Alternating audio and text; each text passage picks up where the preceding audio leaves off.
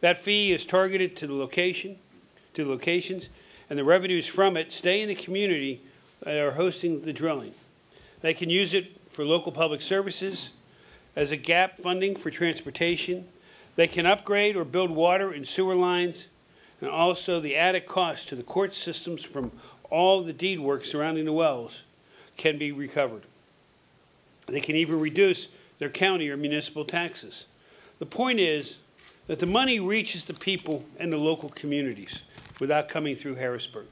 You know, when you look at these, the impact fees, uh, going back to some of these uh, small townships, townships that are in my district, townships with budgets of 100,000 to $150,000, they're going to receive maybe $50,000 in impact fees. That doesn't sound like much. People, people around the state might laugh about that.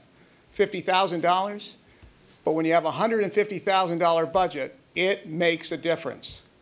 It allows them to replace a piece of equipment they couldn't afford. It allows them to do some betterment for the community, maybe in park recreation replace drainage that needs done, and fix some roads. It's a huge, huge game changer.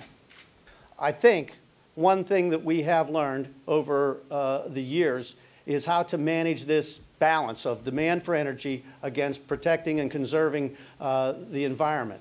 And with this bill, I think we've done that, and the fruits of that are reflected in what we're talking about today in terms of the return of dollars to our local municipalities.